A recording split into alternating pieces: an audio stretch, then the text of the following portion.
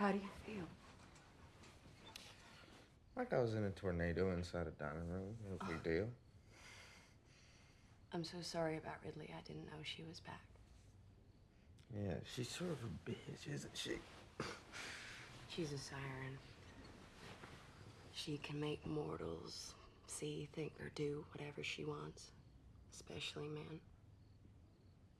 Isn't that like the working definition of a bitch? She wasn't always like that. We were like sisters, you know, traveled together so much. We shared the same suitcase. Did homework, watched Disney. We were just kids. The night Ridley turned 16, she ran away. She said she could feel herself turning dark. She said she had to get away before she hurt anybody she loved. Before she hurt me. I followed her. Then it happened.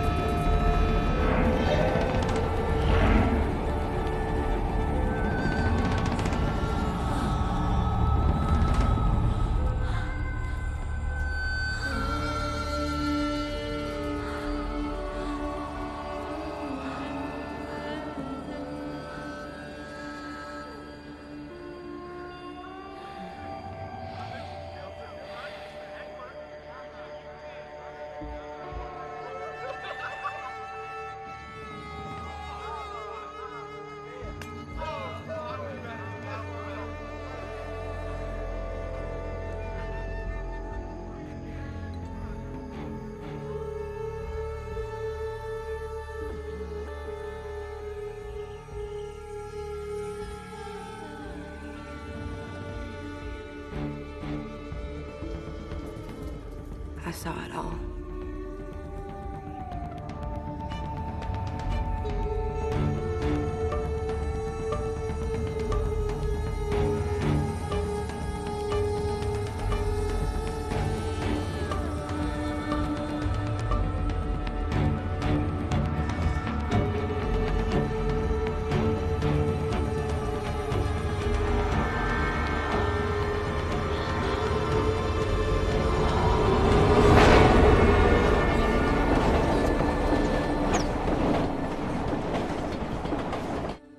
She loved me.